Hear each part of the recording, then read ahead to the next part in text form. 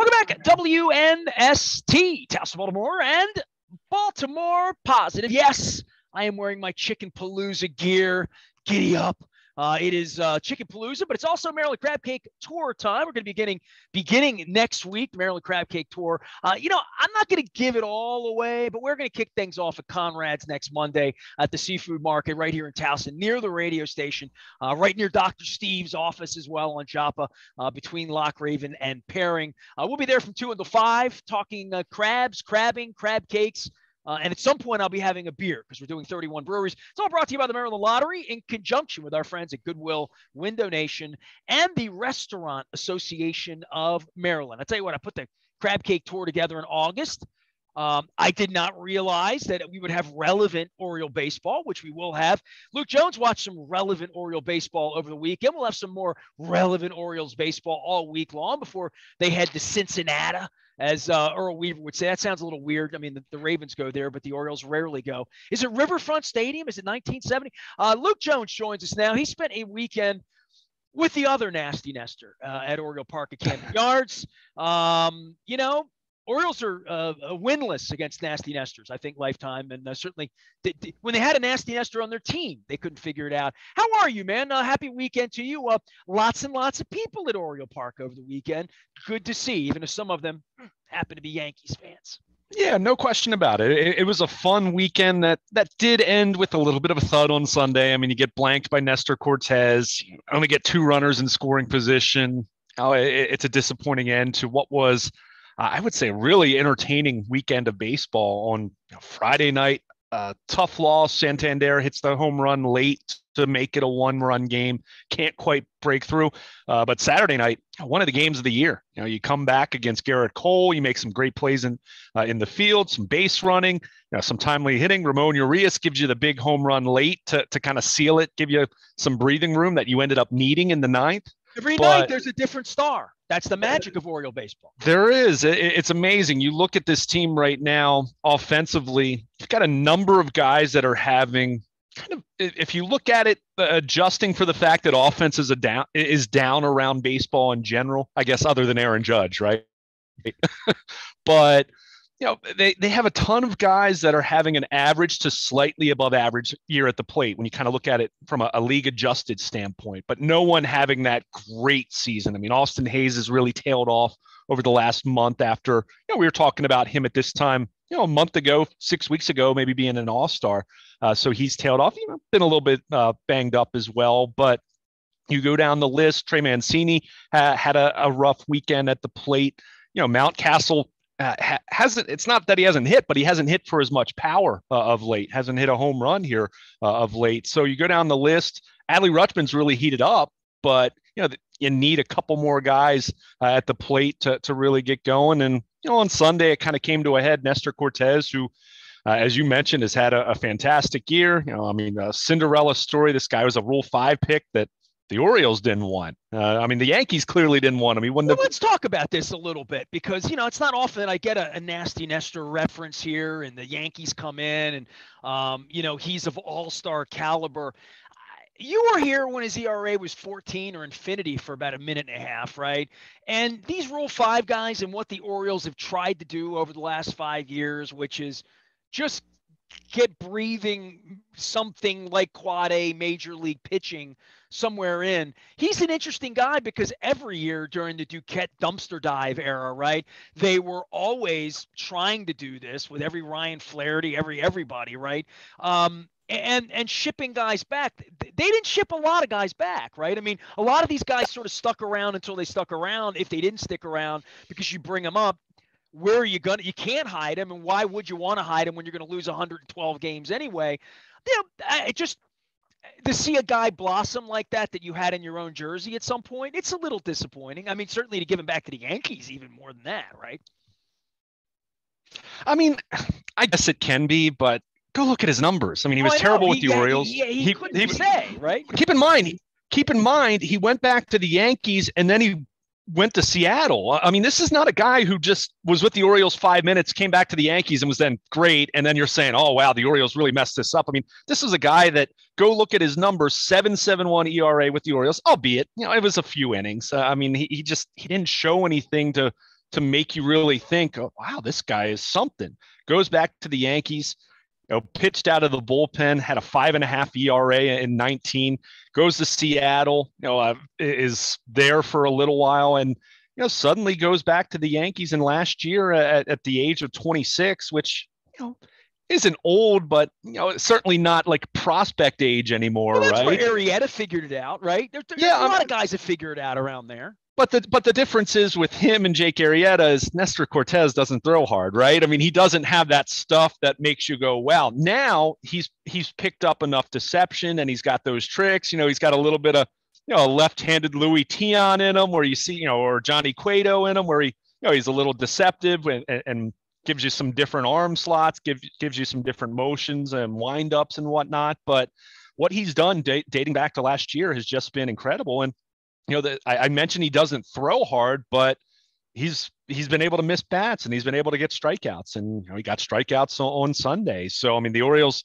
you know, they had some hits, but you know, they never really seriously threatened him, uh, other than you know maybe one inning. So he's just that guy. And I know uh, we asked Robinson Chirinos, so Orioles backup catcher, after the game, you know, what makes him so good, and he just hides the ball really well, and it's something that he had to do, you know, because it was very apparent when he was in Baltimore, his first couple stints with the Yankees, you know, when he goes to Seattle for a minute, that you know, the, this guy's got to, he, he, needs some tricks if he's going to make it. And sure enough, he, he's figured that out. And we'll see how long it lasts. You, you do wonder, you know, will this be a three or four year type thing, or is this guy going to be pitching for the Yankees for next decade? I mean, time will tell, but uh, certainly the Orioles who were able to come alive with the bats uh, as, as the game went on on Friday and Saturday that just didn't happen for them on Sunday. You know, they had one extra base hit, two guys and runners with, with who got into scoring position, and you know, they just didn't mount much of a threat. So, you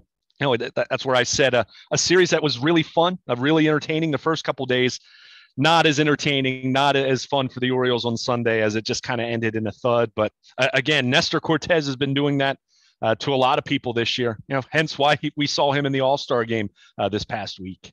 Uh, Luke Jones is here. He is Baltimore Luke, and you can, of course, follow him. He's going to be in uh, Owings Mills as well. As much as I have Oriole Park behind me, it is a, a uh, purple week around here very, very soon. Uh, as we we have preseason football games going on this weekend on the television as well. Let's talk about the Orioles pitching a little bit here. Um, you know, Kremer not bad, but Aaron Judge, and you talk about the Orioles not hitting the ball well. This is what happens when a team that's playing 750 ball comes in, right? I mean, a team that's built for 250 million dollars, a team that's built to win 105, 110 games, looks like anyway that that would be the case. In the case of Kremer, um, not a, an awful outing. I mean, they fought pretty well against the Yankees over the weekend for it being as out of whack as it is financially, spiritually, where it would have been out of whack two or three months ago, where it's been out of whack for the last five years, quite frankly, even when the Yankees were a little out of whack. Um, but Aaron Judge and the really premier players, when you're talking about the Orioles don't have a star, right? Rutschman, okay, he's coming, whatever. Mullins last year, uh, Hays for a minute, Mountcastle can hit home runs. I've Mancini's a first baseman. I'll hear all that. But when the best team in baseball comes in and you give them hell, um, and you know when you're close, I mean, I would say from the pitching standpoint, close, way closer than it used to be, closer than the Red Sox were to the Blue Jays the other night. Yeah, right, right. I mean, how about that story with the what the Red Sox have been going through of late and how they're just getting their brains bashed well, in. the week before the trading deadline too, it creates all sorts of mayhem for buying and selling. Right? This is no this question. Is sort of a treacherous week to be struggling or to be too good, like the Orioles right now.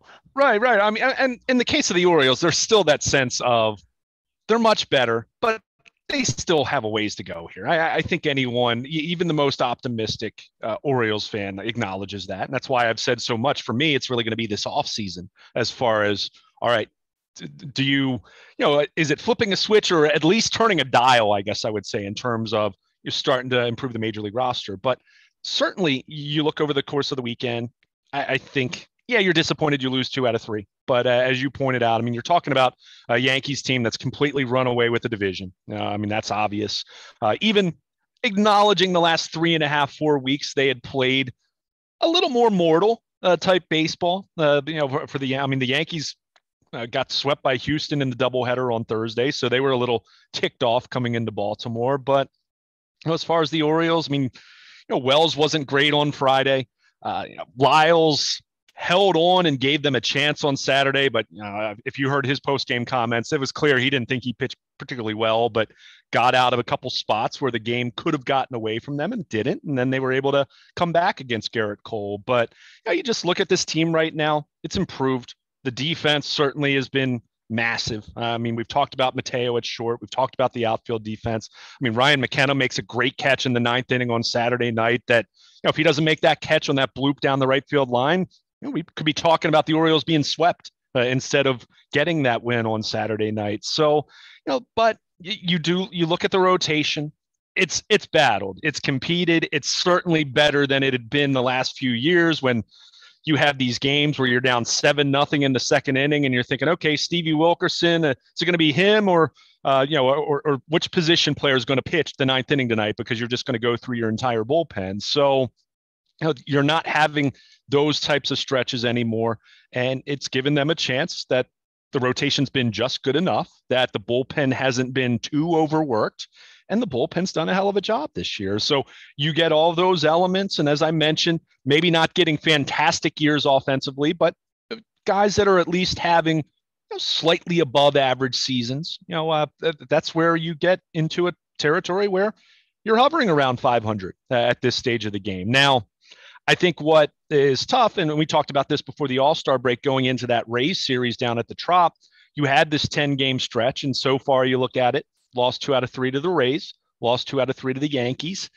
You know, nothing to be embarrassed about, but at the same time, as you're getting to the trade deadline and you're looking at this thing, are they going to be good enough? You know, are they really going to be good enough to hang in, in that wild card race? Seriously, right? Uh, you know, to the point where you know not even talking as much about them being buyers uh, as much as you know still thinking about this from a big picture sense. And you know you just kind of look at you look at where it is right now. You know, toronto in the wild card lead uh, tampa bay seattle and, then you still have cleveland chicago the red sox and the orioles. So yeah they're three and a half games out of that last spot going into pl- play on monday but there's a lot of teams in that mix there, and that's where you do look at this thing. And I do look at the rotation as much as they battled. I still look at and say, is that going to hold up for two and a half? You know, not two and a half, but two more months to really have them seriously in that race. That's where I'm a little more skeptical. But that said, that doesn't mean I think they're going to fall apart. Doesn't mean that they can't play very compelling, still relevant baseball, mathematically speaking. And hey, you play in the AL East by default, you have a chance to be spoiler and to really upset some teams here down the stretch and continue to play good baseball. So, you know, the opportunity is going to be there. We'll see what happens here uh, against the Rays. You know, they've they've fared a little bit better against Tampa Bay than going down to the Trop, where you know the the the Rays. You know, you wouldn't think it's a home field advantage because there's no one in the ballpark down there, but they just seem to play well there, uh, as most teams do at home. But uh, I think you know these next four games, and then going on the road now uh, after that against not so great teams, teams that frankly the Orioles should be able to beat and and, and to have some success against. Uh, you know that that'll take us past the trade deadline. Again, I've never expected that there's going to be some kind of major deal that's going to, you know, qualify them as a buyer. You know, maybe you can find someone that you know you have uh, some eyes towards 2023 with, but at the same time, you know, we'll get a better idea of where this team really is. I mean, they played so you know they played really well over the last month, but you go back to the beginning of May, they've played solid baseball since then. So it's been quite a while. Just a matter of okay, are they ready to take the next step? Or is it going to be they're con- going to continue continue to hover around 500? You know, maybe move a game or two above, maybe fall back, and we saw them fall back a little bit this weekend. But overall, it's not something that I look at and say uh, I'm terribly discouraged about. You know, you'd like you'd like to find a way to have Aaron Judge not kill you, but then again, you're talking about a guy who's you know maybe going to break Maris's club record for the Yankees. Maybe don't so, pitch to him. Then. And that's the big thing. I mean, I struggle with this because I don't, you know, I, I understand the, the mentality of not just wanting to put guys on base because you do have other guys in that lineup who can burn you as well. But at the same time, when you see what he's doing, and and I would say even on Sunday, I mean Kremer struck him out twice, but that hanging curve that he threw, I mean, th- that's just not a that's not a major league starter kind That's of quality of a changer, pitch, right? I mean, again, this is what I said about Right. Kremer. I mean, he Right. threw what 90 pitch, whatever, five innings. uh, You know, Yeah. one it's one pitch against Yeah. the Yankees, against Sure. Aaron Judge. That's not going to happen necessarily against the Tigers or against maybe against the Angels because of the players they have. But you're not going to get beaten on one pitch with the Yankees. You can have a perfectly good afternoon, but they have enough guys in the middle of the lineup, and especially Judge. get Yeah. beat by him, that that's that's a little tougher to take when you lose. No question, no question about it. And believe me, I, I'll hear the arguments of pitching around him in some of those spots. No question about it. I I, I also understand the mentality, and, and you know Hyde was asked about it after the game. You know the idea of, you know, is it tough there? Do you try to walk him? You know, it's two outs. I, you know, you understand that you don't want to put more guys on base theoretically, but at the same time, who in that lineup, despite the fact that they have other legitimate all-star hitters in, in that lineup, who do you really want to to beat you? You know, or or who do you not want to beat you? Aaron Judge tops the list. So again, easier said than done. I think it's you know I even had people in my timeline saying, well, you know, throw fastballs up and in, and then breaking pitches low and away. Well, okay, if it's that simple, then why does the guy have 37 home runs? I mean, he yes, he has punished the Orioles, and he's punished the Orioles specifically over these last five years. I mean, there's no doubt about that. Look at the numbers uh, in his career, and you know he's faced a lot of quad A and triple A pitching at the major league level against the Orioles uh, over the last five years or so. But this guy's terrific. You know, there's a reason why he's going to get an insane amount of money, and there's a reason. There's a reason why there's a lot of angst, a lot, of concern uh, in the Bronx as far as you know Yankees fans being afraid of losing this guy. He's that good. So again, I hear it. Yeah, there's certainly some spots I'd like to see them be a little more careful and pitch around them, but you know, th- this is as as close as it gets to Barry Bonds in today's game, as far as a guy that's just punishing pit, you know, absolutely punishing pitchers. And the Orioles certainly, uh, you know, they they took their licks over the weekend against Aaron Judge. That's for sure.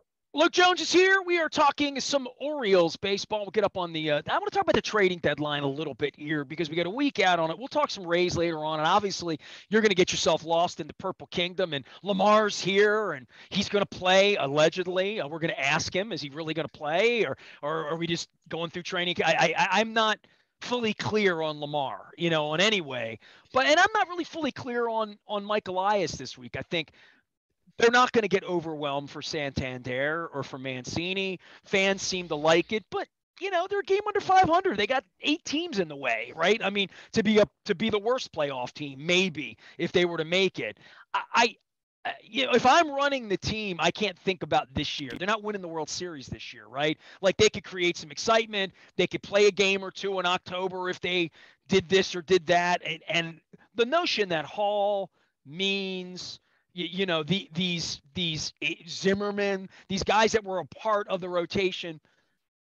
Two of those three aren't going to be part of the rotation down the stretch. So I don't know that they're really a contender. I don't know that they get anything back. Do you expect a deal? I I, I sort of do because of Elias's pedigree of not having a heart, not having uh you know, we have to keep Trey Mancini because he I can't like we need to make the team. We need to win the World Series in 2025. And I think that's all he's thinking about, not necessarily what's going on right now. It will be interesting to see how, not just for the Orioles, but how everyone plays the trading deadline because the days of giving your three prospects up for Trey Mancini or the bat or the arm or even if it's Gerrit Cole, um, I don't know that teams want to give away their Adley Rutschmans and their DL Halls for anything.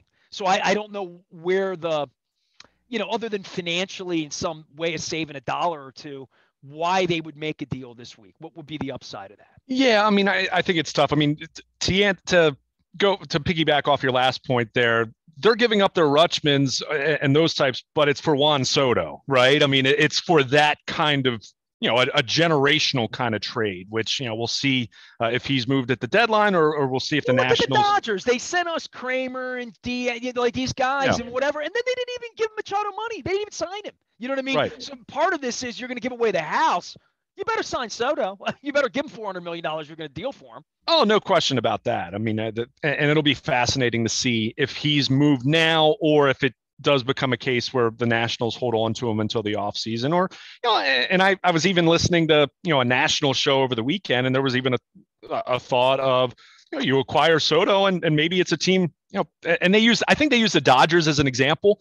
Maybe it's a case where the Dodgers acquire him try, trying to win a World Series this, you know, this year, and then they move them and, and they recoup whatever prospects they like from some other team. So, you know, it'll be interesting. But, you know, to get well, back to the. did a lot more of that 20 years ago when they rent Mike Piazza for a week and a half. Yeah. I mean, it's career, right. Right. I, I, mean, generally speaking, and again, Soto is a different animal because you're talking about a 23 year old generational guy who looks like he is already on, on, a path to be a Hall of Famer. That's how good he already is. And well, there's a at, perfect example of the Orioles giving a kid four hundred million dollars. That's the guy, right? I mean, sure. they're gonna have their own issues with Rutschman and whoever else right. their stars are. But like, if you're going all in to win, you better have one of them.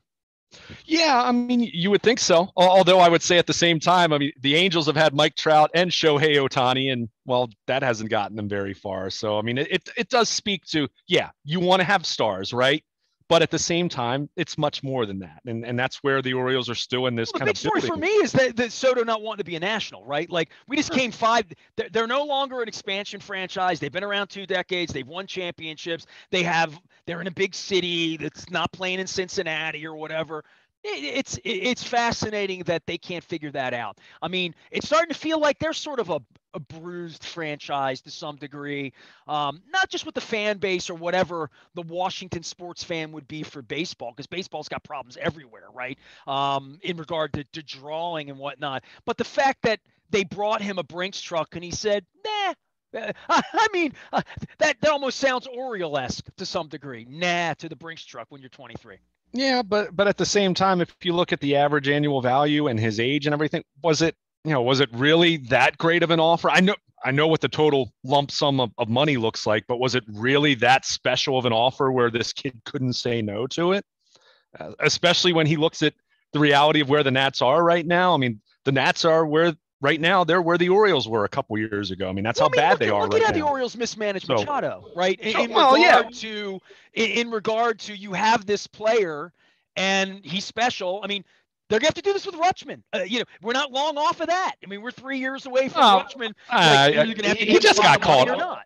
Well, I, I don't know if I'd say that's right around the corner just yet, but your point's taken. And look, I, I, think a lot of it has to do with you know if you're him or uh, the case with Machado, which you know the, the big, my biggest, the biggest thing that I took issue with the Orioles was they just waited so long to deal him. I mean, the time to deal him would have been after that wild card loss to Toronto. Uh, they should have dealt him and Zach Britton at that point. If they had done that, Dan Duquette could still be running the Orioles right now, theoretically. You know, they they could have been in a much better position and maybe only had a two or three year rebuild as opposed to what's been five years. So uh, again, that's how what these other teams handle these things is interesting because sure. we all sit here and say, "Well, the Orioles screwed this up. The Orioles screwed." Lots of teams screw things up, right? Right. Sure. And, and, now I don't know how what more you can do than offer the kid a Brinks truck. They never offered Machado the Brinks truck, right? Like if they right. brought Machado two hundred million dollars in year three, maybe you know, maybe I don't know, but yeah. th- these are the things all these franchises have. Look, the Yankees are dealing with this with their guy right now, right? Because there's the big bad wolf will be out there, son. The, the thought that Trout's going to be an angel for life, right? The fact that Ohtani might get dealt this week, uh, right? Maybe. Right. Yeah, uh, no question about it. I mean, it, uh, I mean, look at the NBA. I mean, I, I know they're different sports, but player movement is just it's just part of it now. It, it really is. I mean, and, and, I remember talking about this and romanticizing this 20 years ago when Cal was doing his retirement tour, and, and we were talking about the fact that in 2001 that there weren't many guys that played their entire career somewhere and it's only just changed that much more dramatically 20 years later. I mean those guys are few and far between in any sport let alone just talking about baseball. But to bring it back because you asked me about the orioles specifically do i expect a trade I, I think almost by default you feel like there's going to be some movement you know it doesn't mean they're going to trade five guys you know, it doesn't mean that you know that this is going to look like a fire sale or anything like that. You know, well, this I, is his week to get on the but, phone. This is Mike Elias's week to get on and maybe get a kid he liked in Peoria somewhere, right? Well, like, uh, there's a little bit of that, but I also just think at the same time, there's also an argument to be made here that you do need to clear the deck a little bit. And what I mean by that is you know, Sunday was a perfect example of that. You know, Adley Rutschman, day game after a night game, they didn't want to have him catch, uh, which which is smart. You know, you don't want to run this kid into the ground. You know, he's 24, but he's still rookie, and you want to keep him fresh, and you want to keep him fresh down the stretch. So he DHs, but we know that Mancini and Mountcastle have shared the first base and DH roles, right? So you want to keep their bats in the lineup. So you put Mancini in right field, which isn't optimal from a defensive standpoint. A little bit of an well, adventure. well, but but then okay, Santander is out of the lineup then, right? So so you do have a logjam here, and oh by the way, you do have Kyle Stowers playing uh, corner outfield at AAA Norfolk, lots of extra base hits. You'd like to get him to the majors because I would say this much. I feel, you know, even though Santander has walked a little bit more this year and you know, he's having a fine year, you know, he's not having a bad year by any stretch of the imagination. Big clutch home run on on Friday night to to get the Orioles back in the game. But I, I don't think he's a guy that projects to be a piece for them when they're making the playoffs and theoretically having a chance to win the World Series in a few years. So, you know, if you can move Santander, uh, if you can move Mancini just because Trey's going to be a free agent, and look, I, th- I think Trey, he's a good soldier and he's a, a team oriented guy, but Trey also understands the business side of this and he's not playing first base every day. So that's hurting his defensive value per se. Uh, and you know he, he, wants to play every day. He'd like to be a first baseman. Uh, I think Trey would like to win and win now. I mean, he's 30 years old. He knows that uh, the free agent market for someone uh, that fits his profile is not um, going to warrant a monster deal. So you know, there's there's something to be said that you know you could also be doing Trey Mancini a little bit of a solid by dealing him at the deadline. Now, are you going to get a whole lot for him? No, of course not. If you deal Jordan Lyles, are you going to get a whole lot for him? Uh, you know, on a deal where he's going to be a free agent pending a club option uh, for uh, what 11 million, I guess it is, which I doubt anyone would exercise. Uh, but you're not going to get a lot for him. And what does that mean for your rotation from a functionality standpoint? You know, just getting through games and being competitive. So, you know, that's where it is tough. And I do look at Santander having two more years of club control. Jorge Lopez, you know, being an all-star closer, but you look at his age, two years of club control with him. We know the volatility of relievers, and if there's one area that we've seen uh, Elias be a little more eager to deal from, it is the bullpen. Uh, so, could you see, you know, a, a, couple deals where you know maybe they trade uh, a Santander and a, Lopez, or they package Mancini and Lopez, and you know you get some guys who might have a chance to help you in, a, in the next year or two? Sure. Uh, do I think it's going to be this mass kind of sell off? No, because uh, to your point, you're just not going to get a whole lot for the for some of the names we mentioned. I mean, unless you're looking to deal Cedric Mullins, you're you're just not going to get a whole lot. So, and I'm not saying the Orioles should or will do that. Uh, so I, I think that's where I look at this thing and say, okay, Jorge Lopez being 29, you know, he's a good story, but again, we know relievers. How many times have we seen guys really good for a year? They catch lightning in a bottle and then they kind of go back to being what they had been previously in their career. So George Sherrill. Right. Ex- exactly. I mean, if someone wants to wow me for Jorge Lopez, and when I say wow me, that doesn't mean that you're getting a, a top 20 prospect in all of baseball, but getting a piece or two that has a chance to help you, a, a guy that has a chance to be Jorge Lopez in a year or two, I, I, am probably willing to do that. And I'm looking at Felix Bautista and say, okay, he can step into my closer's role then. And, and, and you know you just kind of sub 500 sort of you exactly. know 79 or 83 win team or whatever it's going right, to be right? right. I mean you you you still have to be looking at this from a big picture sense. And again that's not me saying that i want to make trades just for the sake of making making trades. I don't want to trade guys to get 17 year old dominican prospects that are nothing more than lottery tickets i'm not looking to save salary at this point i'm not but if i can make a deal or two that's going to help me for the future potentially, and also give me a chance to clear the deck for getting Kyle Stowers up to tr- uh, up to the majors and playing right field every day. That's where I'm a little more inclined to to move a Mancini or a Santander. Maybe not both of them, but you know I I feel there's an argument to be made that you know if there's one area they have uh, uh, uh, some strength and some depth, it's outfield. You know if you look at what they have coming up through their system, so long story short, yeah, I expect a deal or two. Do I think it's going to be anything that it's going to rock the foundation of the franchise? Absolutely not. Because whether Trey Mancini's here the last two months or not, you know, he's not going to be back. I mean, I, I think it's clear, and I think Trey understands that too. That you know he, he's going to be somewhere else next year. So he has a chance to go, and maybe not the Mets because they got Vogelbach from the Pirates, but if he has a chance to go somewhere and play in the playoffs, let the guy do that. He's been through so much. He's already 30. Let him go. So from that standpoint, remember Trey is the other part of this compared to just thinking about it from the Orioles standpoint. So I expect we'll see uh, a, deal or two at least by the deadline. Just don't know if it's going to be anything foundation altering for the Orioles and their rebuild.